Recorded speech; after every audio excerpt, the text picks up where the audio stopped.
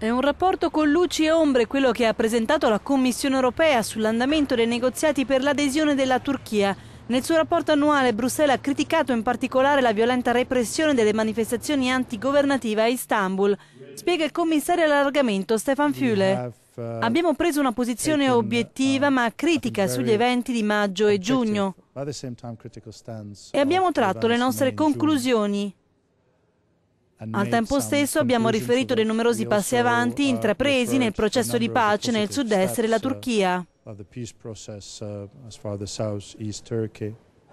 La Turchia ha avviato i negoziati per l'adesione all'Unione Europea nel 2005, ma le trattative procedono a rilento a causa della questione cipriota, ma anche per lo scetticismo di Francia e Germania.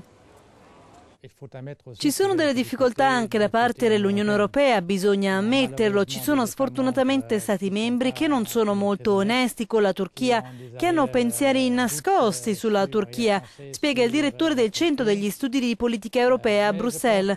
Ma credo che l'Unione Europea potrà risolvere i suoi problemi interni. Conclude la nostra corrispondente turca.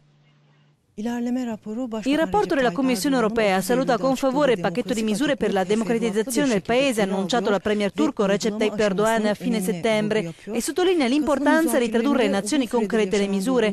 Dopo un lungo periodo di stallo, i negoziati con la Turchia dovrebbero ripartire nei prossimi giorni. Euronews, Bruxelles.